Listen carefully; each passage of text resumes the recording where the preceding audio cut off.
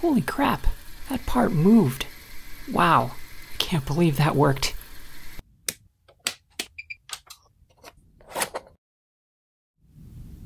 Hello, Internet. My name is Quinn, and this is Blondihacks.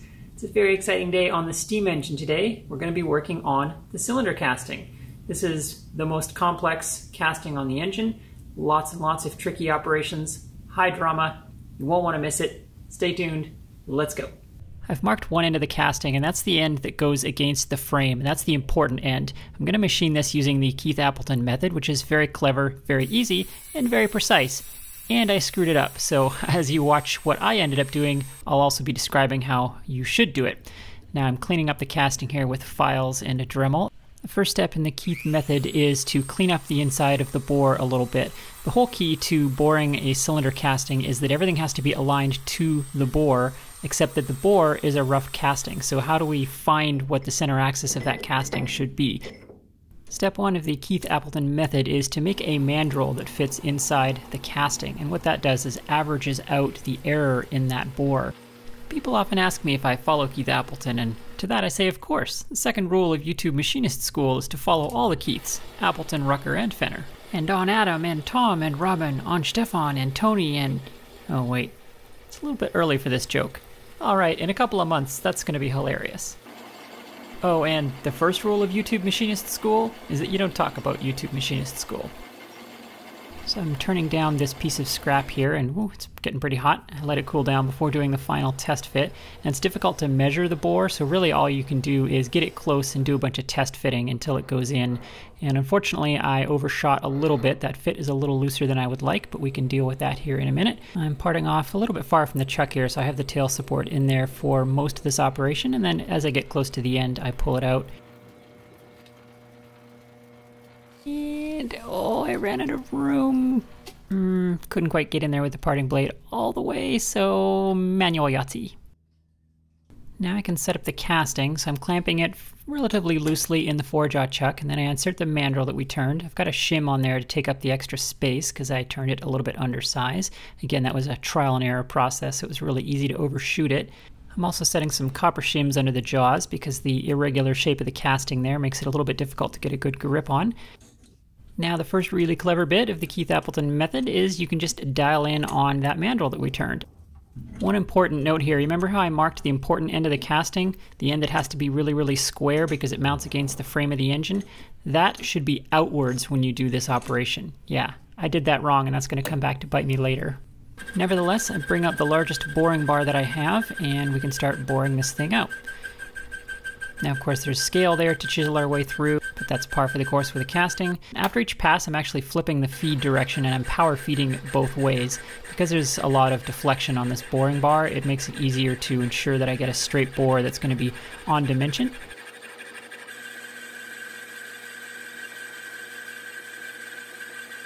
Once you have a cleanup pass all the way down, here comes the really clever bit of the Keith method, and that's that you use the boring bar to face the end of the cylinder. And now you've got virtually guaranteed a perfectly square interface between the bore axis and the face of that cylinder where it's going to mount on the engine. And that's going to guarantee that your bore is running true with the axis of the engine. I absolutely love this trick. It's so simple and so effective.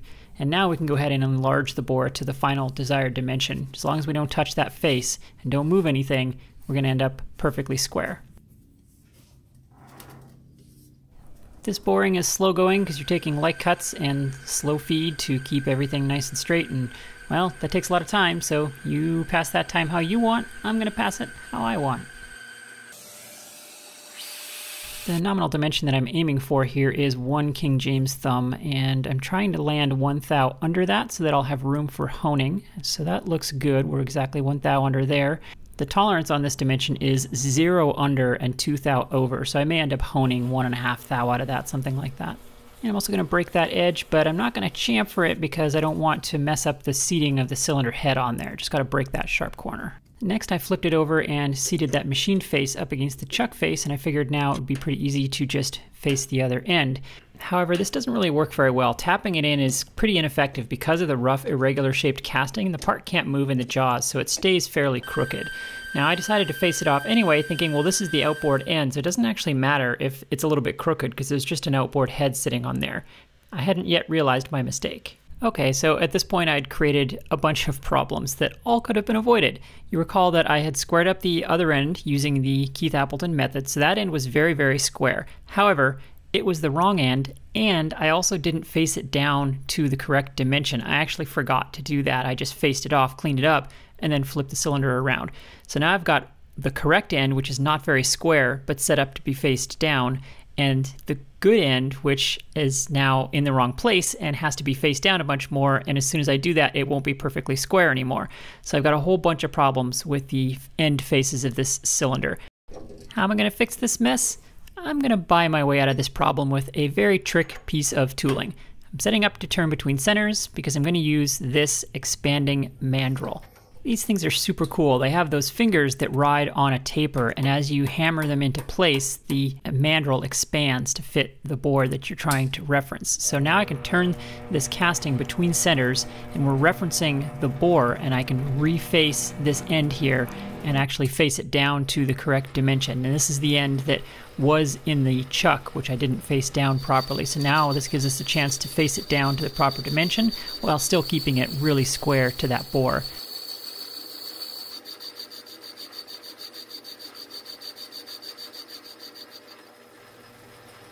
After that facing operation, you can see that this end of the cylinder is now nice and square. So we're within, you know, half a thou there of being square to the bore. So that's great. But we're not out of the woods yet. The other end is the one that was supposed to be the frame mounting end, and that was the one that was faced second, and so it's known to be running out quite a bit. As you can see here, we've got about 8 thou of run out there.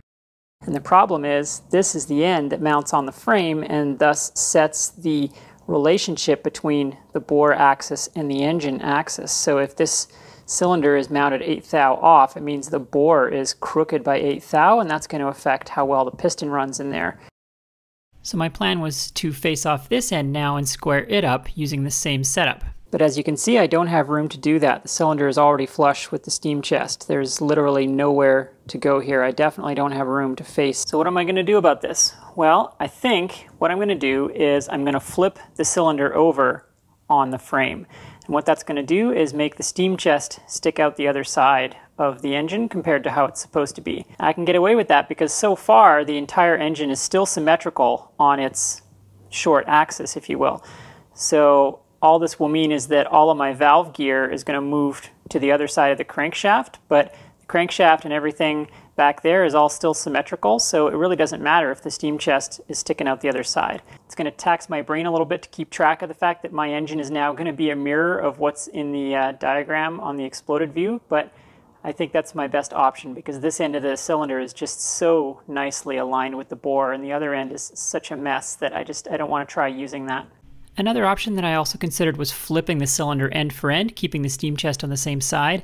The problem is that reverses the steam ports, which are asymmetrical. So it would put the exhaust on the bottom and the intake on top, or vice versa. And I wasn't sure if that was a good idea. So I think flipping it left to right is safer. So with that bullet dodged, I can set up to machine the steam chest now. So over to the mill, and I'm going to set it up vertically here so that we can do all of the operations on the end of the steam chest. Got some copper in there and I'm using the indicator to make sure that the bore is horizontal because of course it's sitting on the casting. So I had to shim it a little bit, but a few shims and a lot of indicating later and we have it sitting level. Now I'm going to square it up as best I can using the side of the casting there. And now I can clean up the edge of the steam chest and it's going to give us our primary reference surface for the steam chest. Going to be lots of vacuuming in this process. I did some depth sounding to get a sense of how much I need to remove in there to clean it up. And I'm going to set up with a 3 8 end mill to machine the bottom flat first. And this is a little bit larger radius than might be desirable on the inside corners of the steam chest. But if I use a really small one and make those radii small, I'm going to be here all day. So that looks pretty good. You can see I need to do a little more to clean it up. And then after a couple more passes, it's looking even better. So now I can machine the sides. And there's no dimensions on any of this. There's nothing really precision here, so it's just about cleaning it all up. The valve is smaller than the steam chest and just floats inside on the valve rod.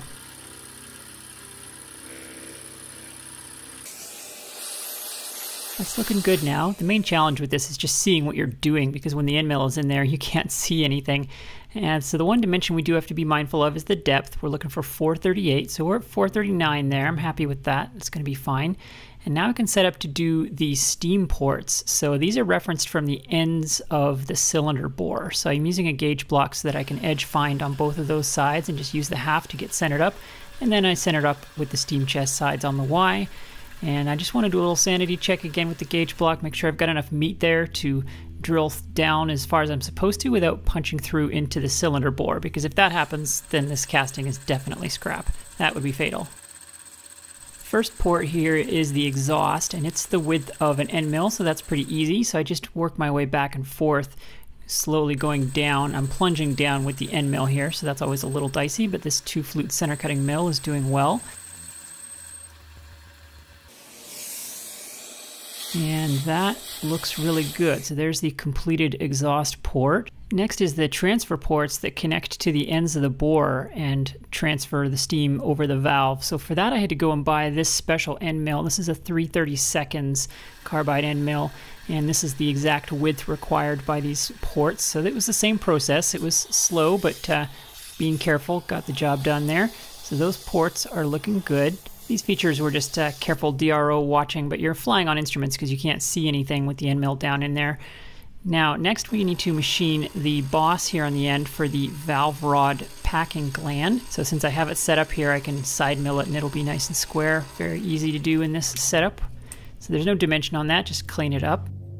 An interesting feature of this casting is it has the boss for the valve rod on both ends, and you're supposed to machine off the one that you don't use and that's what gave us the option to flip this the cylinder end for end before. But this is the one I'm not going to use so I'm machining it off and I had marked it red there you may have noticed so I didn't lose track of them. For the steam chest cover mounting I placed it where it looked good aesthetically and then clamped it in place and transfer punched the first hole. And then I decided to use the DRO to locate the other five so I center drilled all five pretty lightly just enough to make it clear where they're going to go and then I put the cover back on and just did a visual inspection to make sure they're all going to land in the center. And then I did the tapping drill size for all six holes. Now for the tapping, this is a 540 tap. Again, pretty small, not the smallest thread on this project by a long shot, but still pretty small, so lots of care being taken here. This is cast irons, I'm tapping it dry.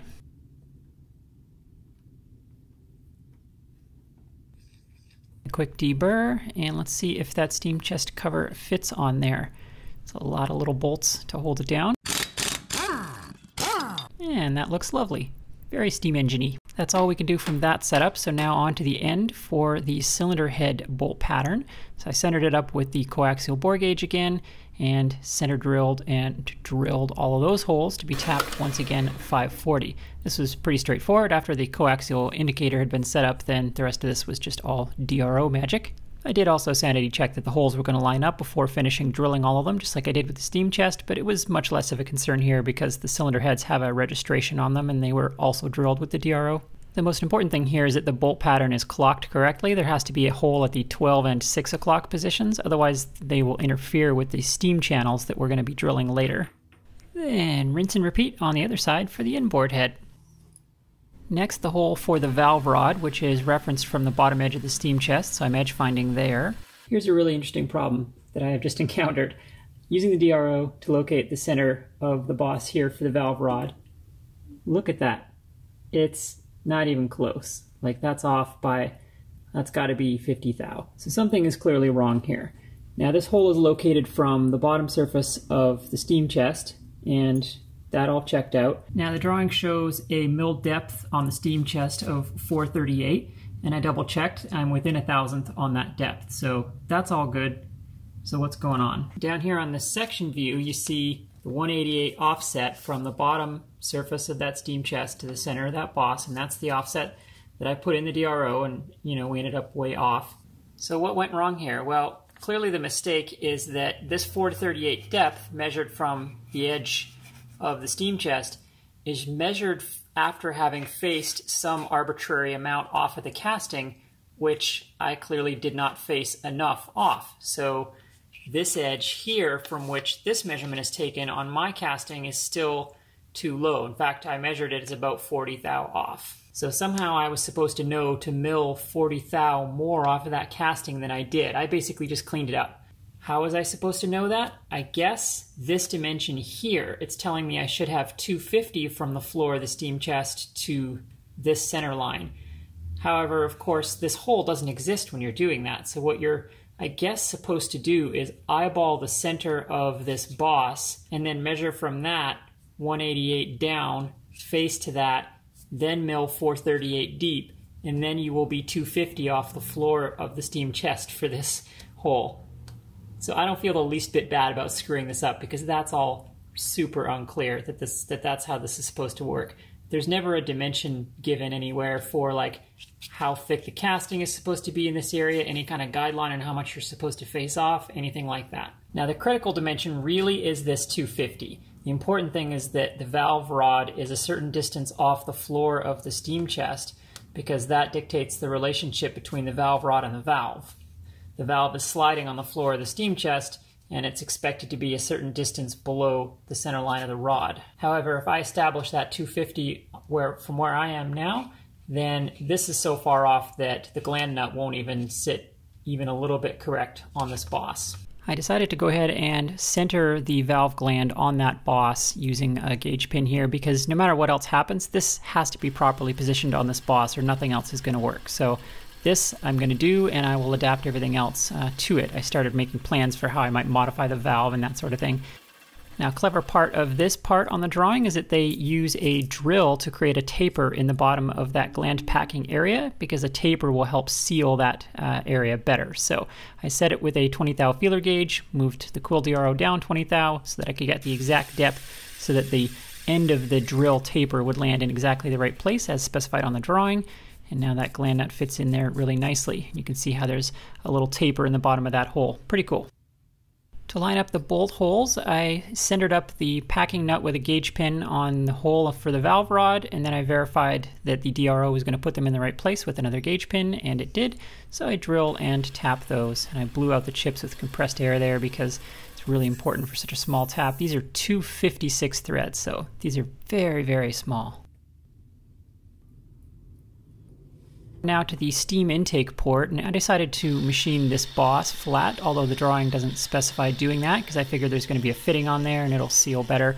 Now the center of this boss is located from the uh, gland packing nut boss, so I edge found from there, moved over, drilled, center drilled. Now I'm tapping this to size. And then of course a little uh, deburr there, and that's it for that. Now that all seemed to go well, but remember how the floor of my steam chest is too high because of those confusing dimensions? Well, look at that. The steam intake port has cut into the floor. So this is a problem. Now, this put a bullet in the heart of my vague ideas about maybe modifying the valve to work out with the higher steam chest floor. So there was nothing to it but to set it up again and remachine the floor of the steam chest and those steam ports, deepen everything down to where they're supposed to be. So I set it up again in the vise using the shims to get the bore level, and I squared it up with a square and an indicator, and then I relocated the center steam port with a gauge pin, and then I verified how much deeper it needs to go by putting a gauge pin through the valve rod port and just measuring from there because we have that dimension on the drawing. And then it was just a case of going back in there with the same end mills I used before and deepening everything slightly. One interesting challenge here is that I was right at the limit of these small end mills for making these features that are way down at the bottom of the steam chest. This end mill here is held by like a quarter of an inch in that collet. It was a little dicey, but it did work if I took light cuts. Note that I didn't remachine the top edge of the steam chest because I would have had to re-drill and re-thread all the holes further down, and that was a lot of trouble uh, for nothing really because this just means my steam chest is going to have a slightly larger volume than the design. Okay, so that is looking good. You can see the steam chest floor is mostly cleaned up there and my steam exhaust port lines up there, so that's all looking good. Now with the easy stuff done, it's time to do some plumbing. I need to drill the steam channels that connect the ends of the cylinder bore to the intake and exhaust ports. Now the drawing says if you set this up at 20 degrees, you're going to hit them. Well, it's gut check time. I taped some copper to the sides just so I can clamp it without needing three hands, and I set up the 20 degree angle block. I squared up the steam chest against the back side of the jaw there on the vise, which is all machined, and I tapped it in until that was sitting square. And then I double checked the angle block, make sure that was sitting good, and then tapped that back in, and I just went back and forth and back and forth until the angle block and the square were both solid. Now the Y position I can get by edge finding on the edges of the cylinder, but I can't do that for X because of the angle that it's sitting at. So that I lined up using the bolt hole that's at the number 12 position just by eye with an end mill. And then I was able to use the DRO from there to locate the first feature, which is a machined flat that the steam port is drilled into. This flat is finished by side milling outwards into the bore, and it effectively creates an elbow in the end of the steam channel so that the steam can get into the bore even if the recess of the cylinder head is sitting down in that area. Then it's just a matter of very carefully center drilling on the top of that flat and then drilling straight down until we break through into the steam port if all went to plan. You know, it's funny sometimes the things that I don't see in the moment and then see later when I'm editing the video. Did you see what happened there when I started drilling? The casting actually shifted in the vise. I didn't have it quite tight enough. I didn't notice that, and luckily it still worked anyway, so that was just blind luck. Here on the Jello cam, you can see the glorious moment where the drill breaks through into the steam port perfectly, as though it was in the drawing and somehow I actually did it right. So I did the same thing three more times for all four steam channels, and you can see the light coming through there. Those worked out really good. That was a very stressful operation, I'm not gonna lie. I was super happy when that worked out. Now comes an important moment in the life of every bore that will someday house a piston, and that's honing.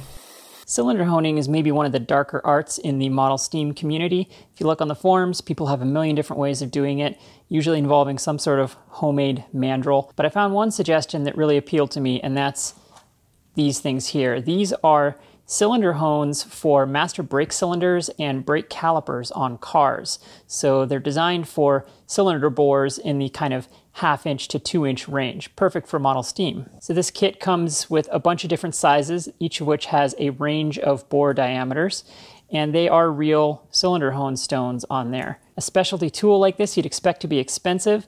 This whole set was 25 bucks. I'll put a link to this down below.